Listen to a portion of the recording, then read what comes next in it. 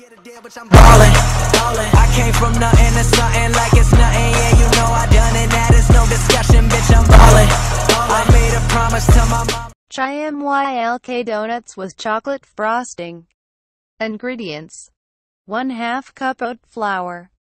1 half cup brown rice flour. 2 tablespoons coconut flour. 2 tablespoons almond flour. 2 tablespoons ground flax seeds. 1 teaspoon baking powder.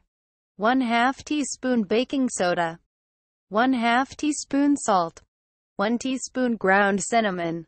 3 quarters cup Rebel Kitchen Chai Chimylk.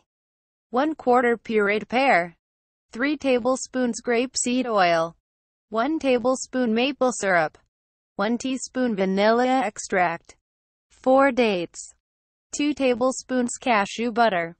1 tablespoon cacao. Step 1.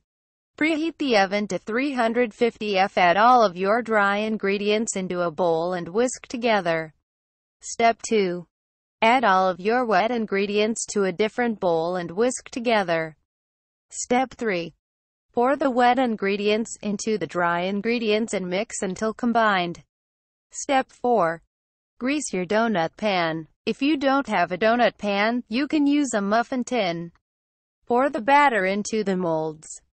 Step 5. Cook in the oven for 15 to 18 minutes. Step 6.